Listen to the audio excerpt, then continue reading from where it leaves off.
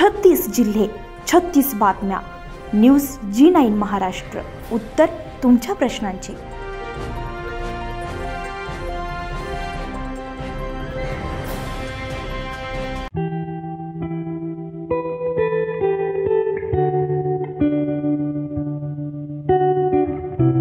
भोकरदन तालुक्यातील धावडा परिसरात हरभऱ्याच्या पिकामध्ये सोयाबीन उगवली ती काढताना शेतकऱ्यांची चांगलीच दमछाक होते. मजूर मिळत नसल्यामुळे शेतकरी कुटुंबातील सदस्यांसह सोयाबीन काढत असल्याचं चित्र पाहायला मिळत आहे यंदा धावडा परिसरात जोरदार पाऊस झाला नाही.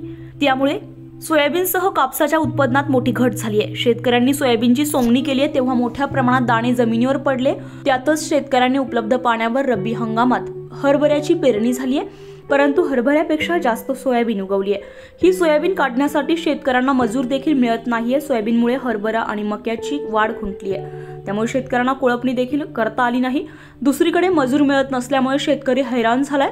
कुटुंबाला सोबत घेऊन सोयाबीनची काढणी करावी लागते धावडा परिसरात हरभऱ्याच्या पिकात सोयाबीन उगवली आहे ती काढताना शेतकरी अक्षरशः हवालदिल झालाय.